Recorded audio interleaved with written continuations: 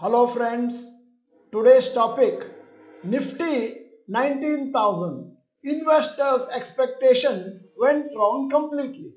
My name is Dr. Bharath Chandra. The purpose of the video is service to society.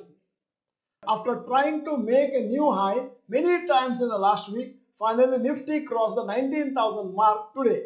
Nifty touched a new intraday high of 19,011 and closed at 18,972.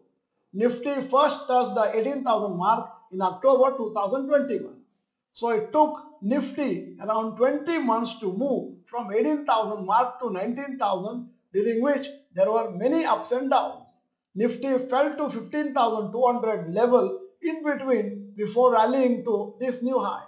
Markets never go up or down continuously. This has been once again observed by investors. Here is a graph of Nifty in front of you.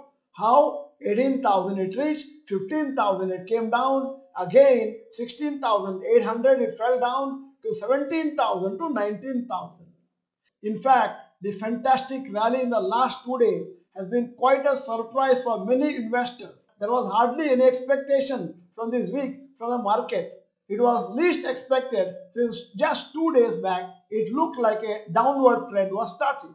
However, there is a specific reason for yesterday and today's rally.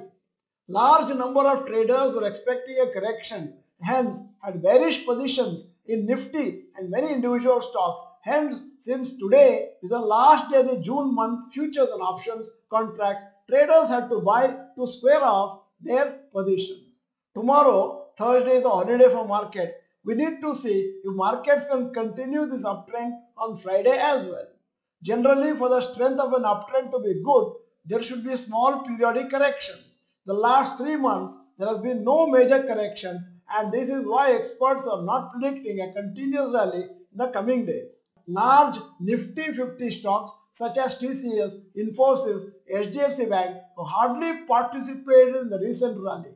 In spite of that, the other stocks are compensated by rallying well. As we had mentioned earlier, stick to your investment approach of long-term investing. Don't change it depending on the market level. This rally would have made all investors happy, whether the short-term investors who have made good profit in the last three months or long-term investors who got encouraged by the market since their portfolio would have gone from red loss to green profit. Short-term investors must observe the graph very carefully and be alert in case of stocks that they are holding for short-term enter the sell zone. For long-term investors, regular SIP should be continued. Also, long-term investors must not be tempted to sell stocks assuming that they can buy back later. At the end of the video, here is a question. Nifty is at all-time high.